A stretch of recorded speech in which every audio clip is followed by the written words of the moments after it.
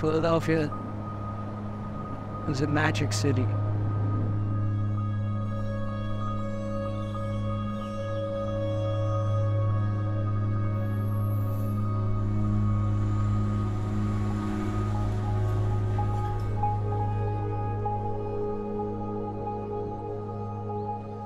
was an artist named Clarence Schmidt. He used a lot of mirror, and I saw the work when I was 19 years old.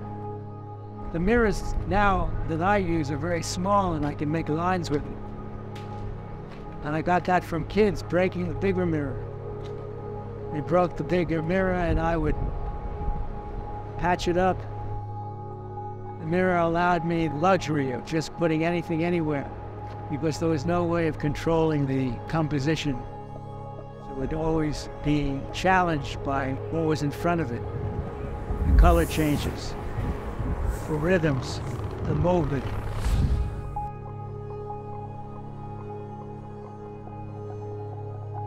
The Painted Bride, the girl next door.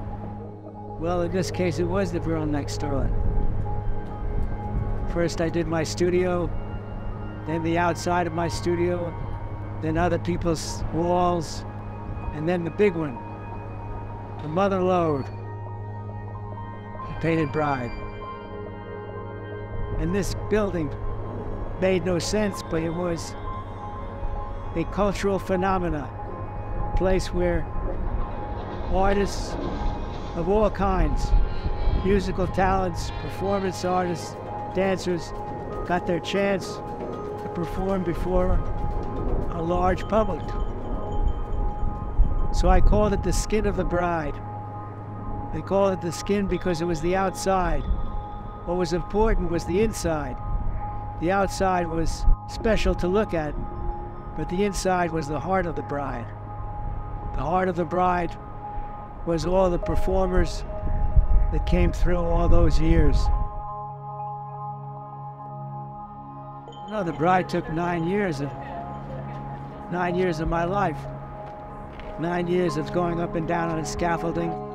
Nine years of work from seven in the morning to ten at night.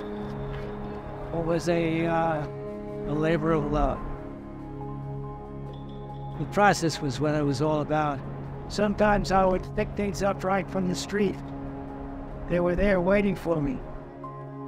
It was like godsend each time. Each time special things would come to me. Me with a big nose.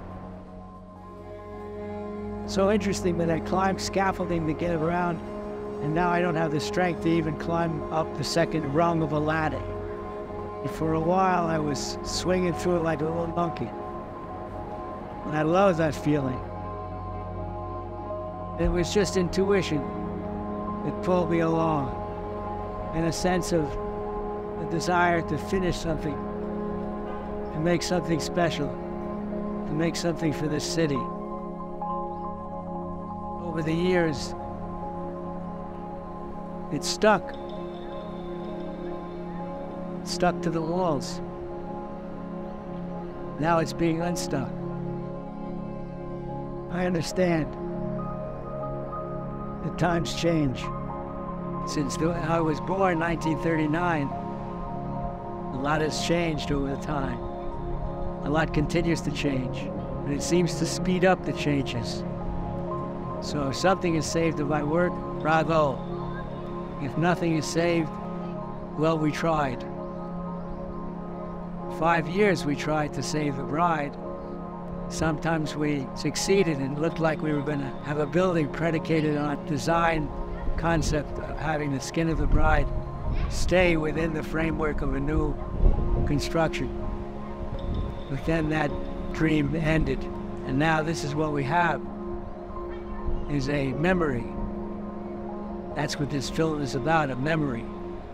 A memory of something that was, that is no more.